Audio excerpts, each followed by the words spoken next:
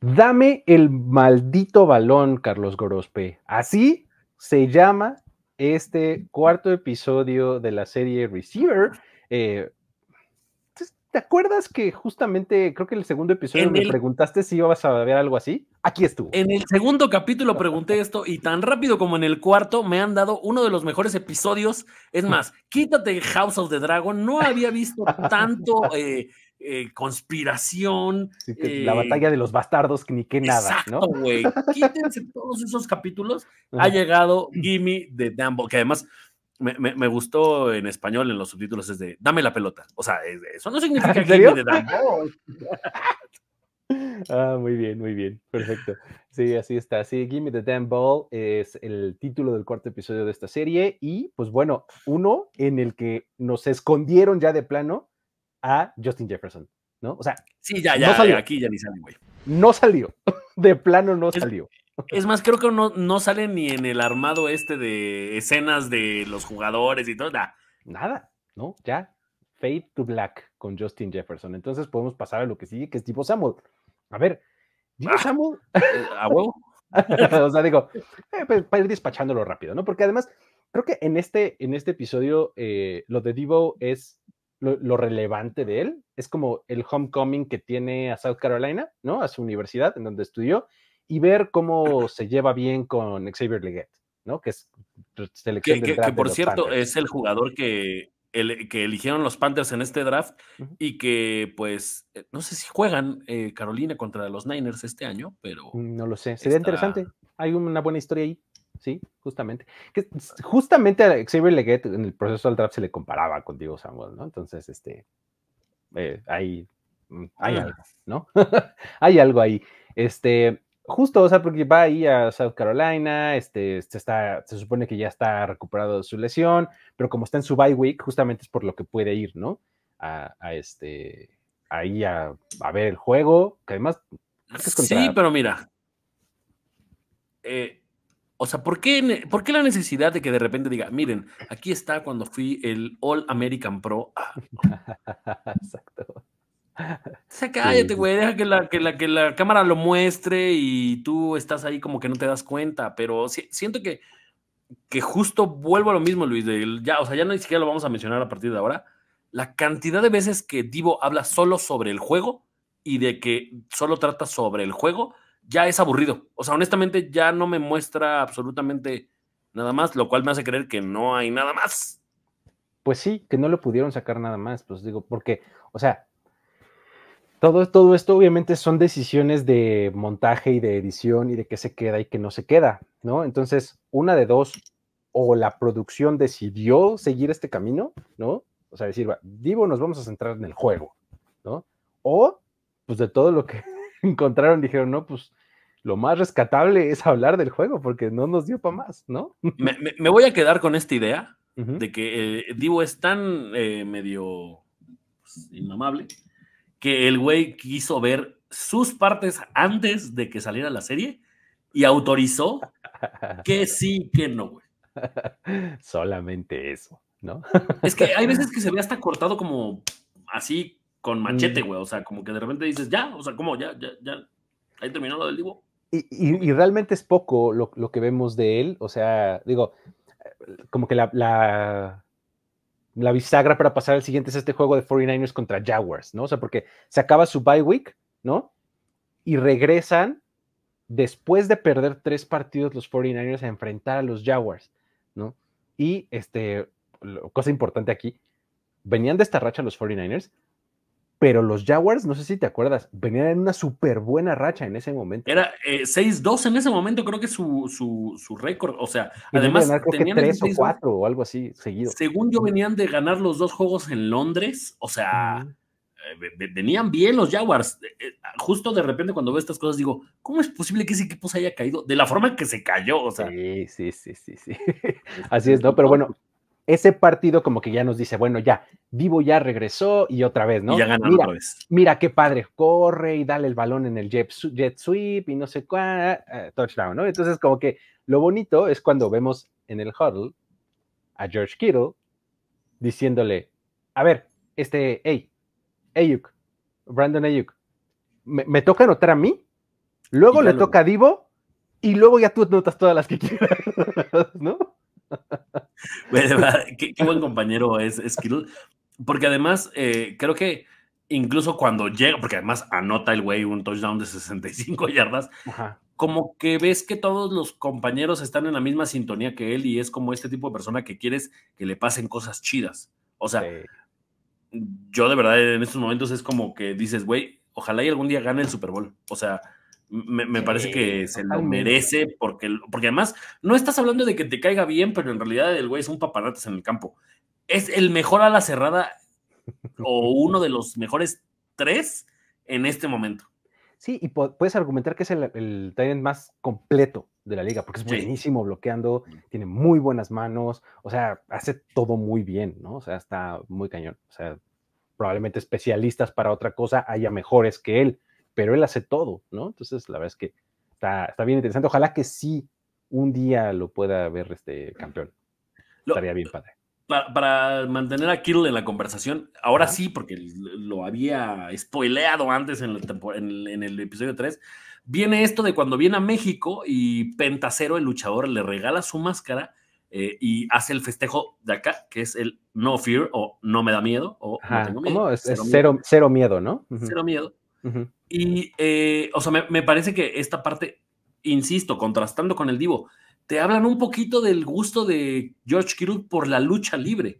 Incluso me parece fantástica la parte donde dice, eh, cada vez que voy a la WWE me dan ganas de decir, ay, si me pudiera subir, pero mi contrato dice que no puedo hacer muchas estupideces.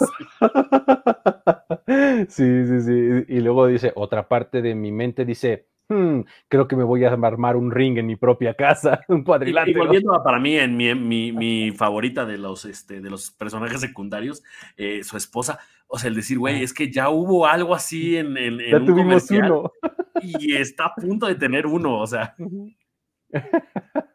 Sí, totalmente, ¿no? O sea, fíjate, es, ese, eh, a ver, tú que eres mucho más versado que yo en lucha libre, ese de, cero miedo sí es una cosa como importante en el lore de la, WWE. O, sea, en el lore del luchador, en Pentacero. Ah, de él. Ah, ok. ajá, eh, Pentacero, hasta donde recuerdo, no sé ahorita, no es parte de WWE, es más bien de AEW, hasta creo recordar. El tema es que sí es como, ah, a ver, en estos momentos es el referente mexicano en Estados Unidos haciendo un símil con Rey Misterio. Ok, ok. O sea, ese es como el, medio momentillo que está atravesando Pentacero. Pero, eh, vaya, creo que, creo que George Kittle eh, habla bien de lo que le, le, transmite un personaje de lucha libre, porque obviamente pues estás hablando de que este es un deporte de entretenimiento, la lucha libre, pero aún así George Kittle dice, güey, me gusta esta idea de, de, de pues sí, cero miedo. Está bien padre y te explica cómo por eso siempre hace eso cuando, cuando pone un primero y diez, ¿no? Suelta el balón. sí, porque no, es el festejo de touchdown, es el festejo de primero y diez, ¿no? Exacto. O, de jugada chida. Sí, sí, sí, exactamente, ¿no? Entonces está, está muy bueno.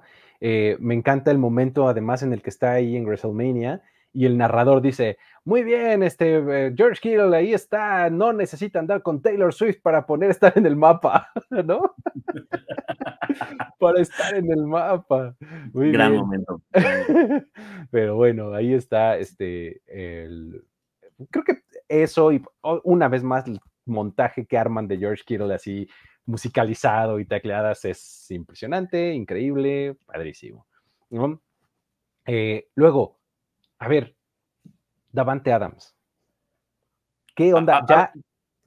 Tú, tú que eres eh, versado en esto, te toca a ti, porque según yo es la parte de Davante. Explícanos qué es un árbol de rutas, Luis.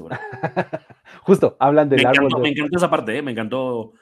Eh, sentí que de repente, por ejemplo, en el coreback, había más momentos donde había, digamos, ñoñez o cosas como muy. Verdeada de fútbol, ¿no? Ajá cuando te explican cómo entrena Patrick Mahomes para no lesionarse, por ejemplo, aquí esta parte del árbol de rutas, bien ahí, ¿eh? Sí, muy, muy padre, digo, el árbol de rutas es como, justo lo dice Davante Adam, ¿no? Eso te lo enseñan así de, que eres niño, ¿no? Tienes tus rutas pares que cortan para un lado, tus rutas nones que cortan para el otro lado, y la ruta 9 que es el, GO, ¿no? Y este, Y justamente lo padre es que te lo explique Davante Adams, que es un técnico para, este, para correr rutas, ¿no? Y para el release, para el momento que, del que sales de la línea, y cómo él hace estos movimientos para que el corner prácticamente no lo toque.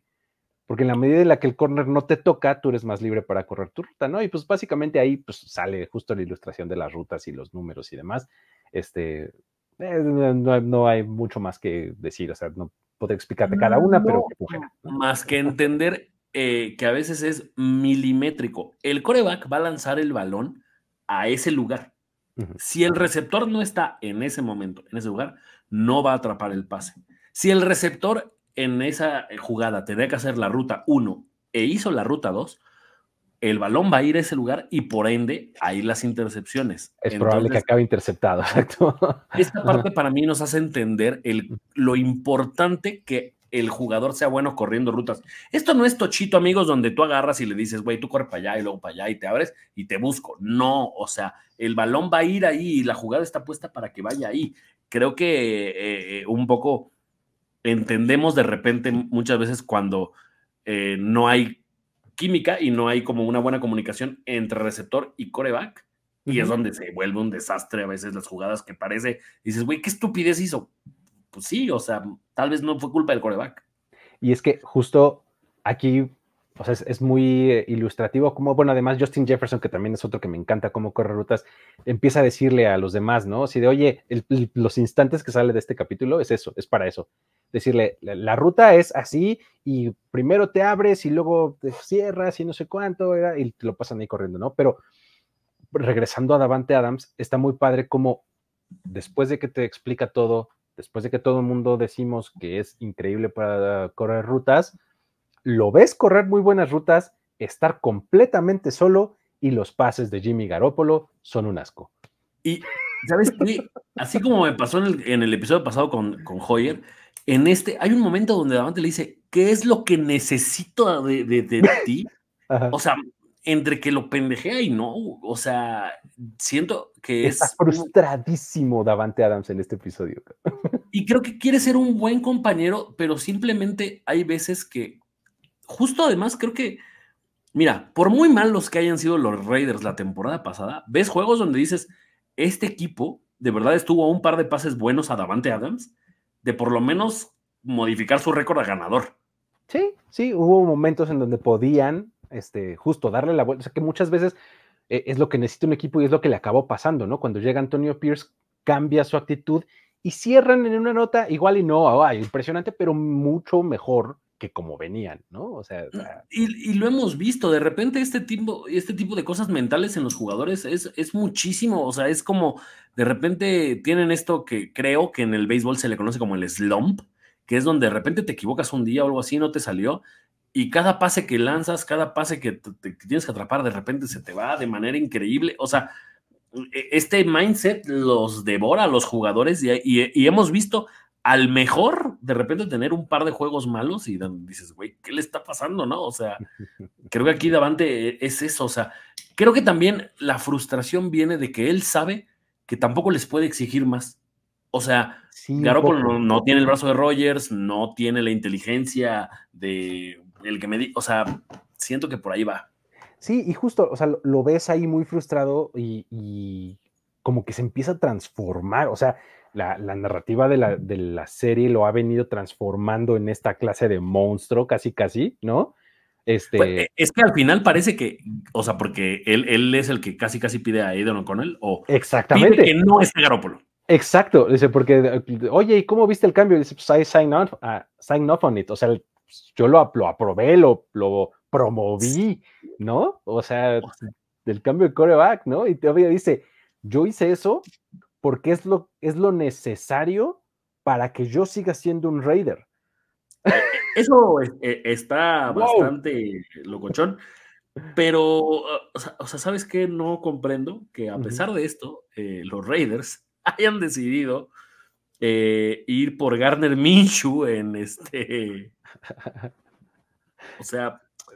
imagínate si así estaba Davante Adams este, digo, Garner Minshew es competente y lo que quieras, pero sigue estando en este limbo de corebacks que mencionamos en el episodio pasado, que cuando decíamos que después de Aaron Rodgers, este, pues se le ha pasado justo en eso, en, eh, rebotando entre corebacks de medianos a malos, ¿no? Y pues creo que Gary Minshew es eso, es un crack mediano que pues ojalá le dé buenos balones a Davante Adams porque si no va a acabar otra vez frustradísimo, ¿no? O sea, eh, de hecho, creo que en el episodio pasado no lo mencionamos, pero en algún momento digo Samuel cuando está en su camastro ahí este, en ah, rehabilitación. Ah, sí, que habla de lo de Davante. Dice, Davante Adams quiere cambiarse, ¿verdad? está pidiendo un cambio. Y, es que además creo que eh, ya en esta actualidad parece que los redes son los únicos estúpidos que no tienen un buen coreback. O un coreback que por lo menos te pueda hacer brillar. Porque, ojo, ahí hay corebacks que ganan o ganan porque la defensiva o cosas así. Pero, híjole, o sea, Aidan O'Connell, Garner Minshew y estoy viendo que se llama Anthony no sé qué. No, o sea, ese QB Room, no, o sea, tampoco veo a Davante aguantando otro año así sin pedir un cambio. Sí, sigue ahí de Aidan O'Connell, ¿no? Que pues fue justo el que, el que llega, pues, justo porque además, después de esta super frustración, ¿no? Corren a McDaniels, ¿no? A George McDaniels, y este, y llega Antonio Pierce, y después de la victoria los ves acá en el locker room hasta con fumando, y todo, ¿no?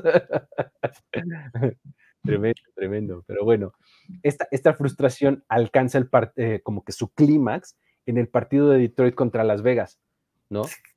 Que justamente estamos viendo la situación de los dos receptores, tanto de Davante Adams súper frustrado, como de Amonra St. Brown, que está en una situación, o sea, no sabe, o sea, me causó muchísimo estrés. O sea, esta sí es una cosa que sí me estresó mucho porque está todo enfermo, ¿no? E, e, es increíble esta parte que vuelvo a lo mismo. De repente yo digo, güey, la NFL no dirá, oigan, a ver, a ver, ¿cómo que un güey jugó con un tema viral? Con mano, pie, boca. O sea, mano, pie, boca es uno de los virus más contagiosos en cualquier kinder que se respete. no que se respete, o sea, en cualquier kinder del, yo creo del mundo. Es súper contagiosa esa enfermedad, súper. O sea, no, no, sé si yo como jugador digo, oye, no man, yo lo tacleé, güey, ¿qué pedo con, por qué lo dejaron jugar? Porque además él incluso confirma y dice, no le dije a nadie, llegué con la cara toda tapada, eh, o sea, de repente siento que esta serie revela un poquito más de lo que debería estar permitido, no está mal, pero sí te da a pensar. O sea, imagínate que hubiera sido el Super Bowl. O sea, güey, acá medio como que lo tiramos de a, X porque es un juego contra los Raiders y como que ni siquiera, o sea, si se lo hubiera perdido hubieran ganado los Lions, o sea. Sí, o sea, e, es que es una enfermedad eh, que es dolorosa, que es molesta, o sea, los niños la pasan muy mal, es que es de verdad una enfermedad muy, muy de niños, pues, ¿no? sí, pero dicen que de adulto te da, pero... Te da muy feo, exactamente. o sea, y lo describe él de una manera muy, muy gráfica. Dice, eh, siento que los, como si en los pies estuviera caminando sobre agujas. Alfileres. Y lo de las manos, que dice, güey, o sea, siento que como que los hoyos que se hacen se rellenan con más dolor. Sí, exacto. Su novia, que además nos enteramos que está estudiando para ser enfermera, ¿no? Justamente le dice, es que eh, le dice a la cámara, ¿no? Es, que en ese momento estaba jugando con cada uno de esas como este eh, ronchas, digamos, se ampularon, se abrieron y de repente tenía llagas en todas las manos y en todos los pies y así jugó ese partido. Bueno, puedo creer. ¿Qué eh, onda, cabrón? o sea, vienes del oblicuo, del pie y luego te da esto y la clase de temporada que tuvo Amon Racing Brown. ¿Sabes qué es lo que le faltó a Amon Racing Brown en ese momento? Tomarse una Coca-Cola. Güey, momentazo así de, eh, a medio tiempo le tienen que dar coca. Güey, no, no, no, escríbele, escríbele un escríbele. mensaje. no sé si no Gatorade, no Gatorade, un, una coca. Güey, ¿por qué, de repente los, gringos, güey, tienen estos momentos súper eh, futuristas y de repente tienen unas cosas que digo, güey, señor, no mames. Así de, no, ¿no me creen? ¿No me creen? Háganlo. Todavía se avienta la de, háganlo, Una coquita, una coquita y ya. su fuente es créeme. ¿Tampoco no? Eh, sí, su fuente de los deseos, güey. O sea, disfrutemos ese momento porque además el señor como que de verdad, o sea, güey, sí le manda un mensaje y le dice, claro. Eh, si al medio tiempo escuchas esto, güey, diles que te den una Coca-Cola. Qué locuras, güey. Está metiéndose como la humedad en mi ranking de personajes secundarios. Ay, no puede ser, que bueno. Este, ahí está lo de Amon-Ra, que bueno, también tiene ahí su homecoming, ¿no? Cuando juega contra los Chargers en Los Ángeles, ¿no? Y le va muy bien y todo ya, ya más sano, ¿no? O sea, ya después de esto del mano, pie, boca y demás, ¿no? Entonces, y viene el momento que estábamos esperando porque eh, evidentemente termina siendo que Lions y Bears se tienen que enfrentar, lo cual lleva, que yo no sabía que incluso tenían un podcast, los hermanos Sam Brown, viene el Sam Brown Bowl, donde te enteras que existe un tercer Sam Brown llamado Osiris. Osiris. Eh, me, gustó que, que el papá, ¿qué puedes pensar de una persona que dice, tómate una coca y te vas a sentir bien? cree en el poder del nombre y por eso les puso este tipo de nombres, pues de dios egipcio. A ver, cosa que tuviste que haber estado en una cueva para no enterarte por qué es Amonra. Y, o sea, pero el Equanimus también ahí es como de un profesor. Osiris, pues es evidentemente otra deidad egipcia. Entonces, eh, me, gustó esa parte. O sea, el papá tiene este tipo de cosas rarísimas. Me parece una personalidad muy, muy rara. Pero también la mamá, güey, ¿qué pedo con la mamá? Que platica con él en alemán, güey. Personajazo también la mamá. A mí me cae, de hecho, a mí me cae mejor la mamá. que el papá, el papá tiene como, da bandazos. O sea, de repente me cae muy bien, de repente lo odio, ¿no? Se me hace súper tóxico de repente. Eh, la mamá me cae perfecto, perfecto, porque, o sea, se nota que está haciendo un gran esfuerzo por entenderle a todo lo que están haciendo sus hijos, ¿no? Y algunas cosas le entiende, pero otras como que no llega. ¿no? Entonces, sí, sí. Eh, sí me... O sea, me queda claro que la señora eh, ve fútbol americano, o sea, no ve fútbol americano, ve a sus hijos jugar. Esa gran, gran manera de ponerlo, exacto. Así, voy porque pues aquí están mis hijos. Claro, ¿no? yo nada más sé que si la agarran y llegan ahí, anotan. Sí, listo. ¿no? Ahora, ahora lo, que, lo que sí está chido mm. es que, a ver, demasiado señora Kelsey, de repente en algunos momentos nos dio la NFL. Aquí te queda claro que estos, eh, eh, los Sam Brown, sí son más Lions que Bears, güey. O sea, sí, ah, el se, ve muchísimo. Se ve muchísimo. La, la, primera que lo dice es Brooklyn, ¿no? La novia de Amonra. Sí, le, dice, güey, neta. No le digan a nadie, pero le van a los Lions. ¿No? Y luego ellos lo aceptan, ¿no? Así de, bueno, es que pues los Bears no iban a llegar a playoffs, entonces pues sí estamos apoyándolos, ¿no? Pero increíblemente, yo ya no me acordaba, güey, a veces que la NFL, eh, ¿cómo chingados le hicieron los Bears para, ganar ese en el juego, cabrón? Sí. Y de esperar el comeback de último minuto, que además la señora explica de una manera súper elocuente. Dice algo así como, pues primero piensas que vas a perder, pero luego ganas. Y ahí está la emoción. Güey. ¿Cómo no? no Sí, no, y hasta, el propio Sambrón dice, güey, o sea, no puedo perder, o sea, mi, chingué a mi hermano hasta que me cansé. Toda la semana. A perderlo, ¿no? O sea. sí, sí, sí. Oye, y el momento de cuando justo va con su novia que la fue a recoger a la escuela, hablando del nombre todavía, que, empiezan a hablar de la pronunciación del nombre, ¿no? O sea ah, claro, de que dice, todo el mundo lo dice mal, que no sé qué. Amon, eh, Amon Ra, Amon Ra, eh, Hammond, y no sé qué. ¿No? Pero bueno, me surgió una duda ante, todo esto, ¿eh? Porque veía los supers que ya ves que ponen así como el nombre de las, este, de las personas acá abajo conforme van saliendo. El papá se llama John Brown, ¿no? La mamá es, eh, según yo, se llama Miriam, Miriam Brown, Ok. Entonces, ¿qué demonios con el Saint? ¿De dónde salió Saint? No me había dado cuenta de eso. o sea, pues es John Brown y Miriam Brown, y ellos de repente son Saint Brown. What? correcto, o sea, no, había eh, eh, eh, en eso porque además, a ver, o sea, lo voy a buscar en lo que tú vas a los momentos chidos que nos faltan. Ajá. Porque ya me dejaste con la perra duda, güey. Sí, no sé, o sea, la neta es que no, o sea, lo vi par de veces, ¿no? Justo para decir, a ver, a lo mejor no alcancé a leer, le regresé y no, es John Brown, Miriam Brown, ¿no? Y el Saint, ¿qué sé de dónde se lo inventaron? ¿no? O sea, dije, bueno, está bien. ¿Quién sabe, güey? Está sí está raro, ¿no? O sea, porque además sí, los dos son Same Brown, o sea. A, ver, te, voy a decir algo que te, tal vez te huele los sesos, güey. A ver. Eh, Miriam Brown es el nombre de casada. Claro. La señora es Miriam Steyer. No significa saint, significa ST ha de ser por Steyer. Ah, Han de ser los Steyer Brown. Ah, una de esas. Eh, ya le estamos buscando explicaciones así inventadas, pero bueno, está bien. Ok, vámonos a las categorías rápidamente para cerrar el episodio. MVP del episodio, eh, una vez más, es George no, pero sin duda alguna. A ver, eh, o sea, es que me parece que eh, soy muy él, o sea, me refiero a disfruto así las cosas. Entonces, cuando alguien las disfruta de una manera no tan exageradamente elocuente, como que digo, ah, igual no lo disfrutó tanto.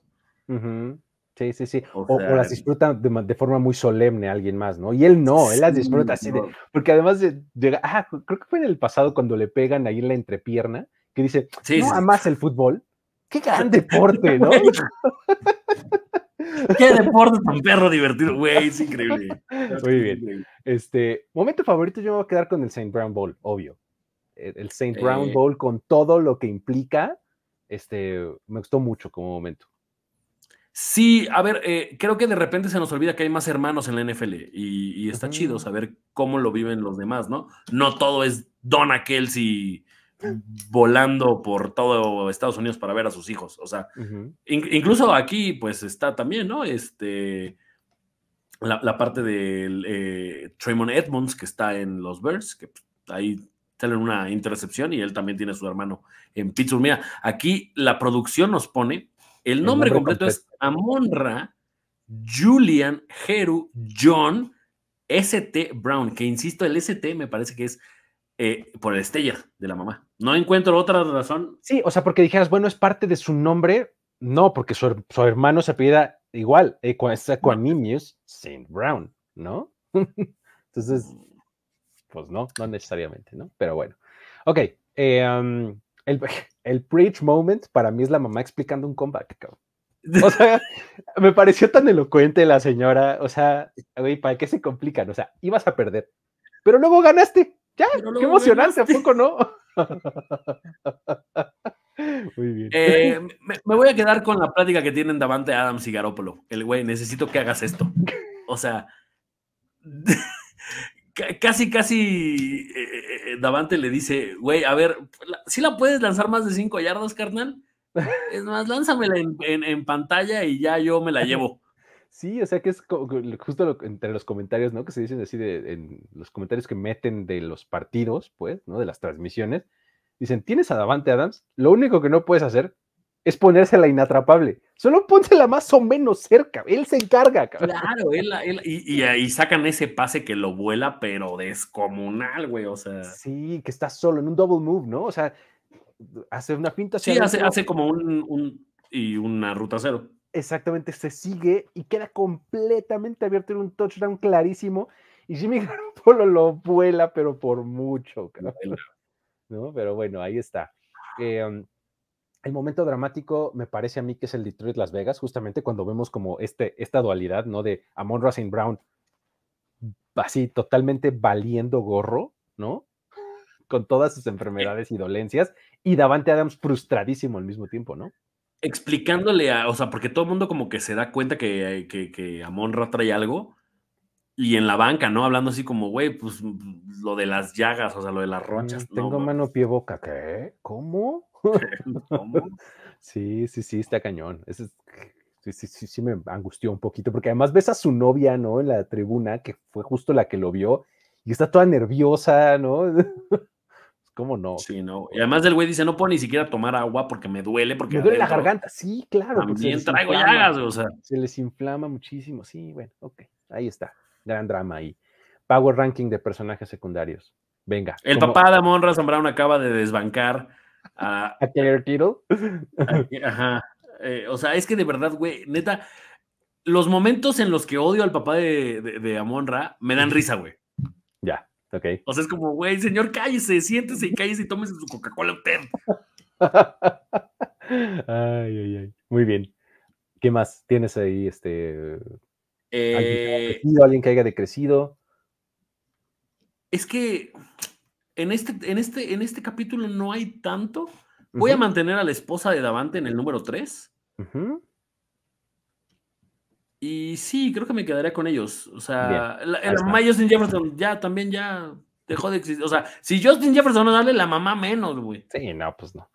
Fíjate que a mí me gustó mucho en este capítulo Brooklyn Adams, justamente, eh, Brooklyn, este, sí, Adams, que es la novia de Amon Racing Brown, ¿no? Me, me parece que escala posiciones, ¿no? Este, va trending up, por así decirlo.